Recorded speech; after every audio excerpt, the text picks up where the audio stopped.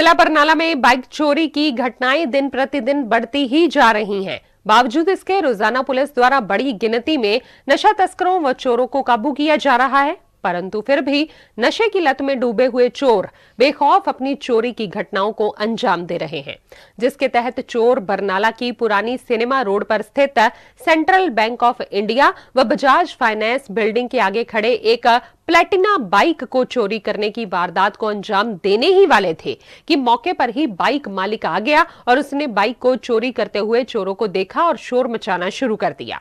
मौके पर इकट्ठे हुए लोगों ने चोरों को काबू कर तुरंत पुलिस को सूचित किया। सूचना मिलते ही provisional DSP Vishwajeet Singh Maan police party सहित मौके पर पहुँचे और चोरों को काबू कर ले गए।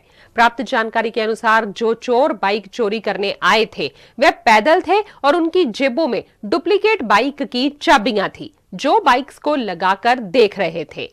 जिस बाइक को चाबी लगे, उसे लेकर फरार होने की ताक में थे, जिसे लोगों ने मौके पर ही दबोच लिया। इस दौरान एसएसपी संदीप गोयल ने बताया कि इन चोरों को किसी भी हालत में बख्शा नहीं जाएगा।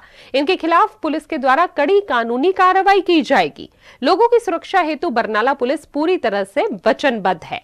बरनाला से हलचल के लिए अरिहंत गर्ग की रिपोर्ट।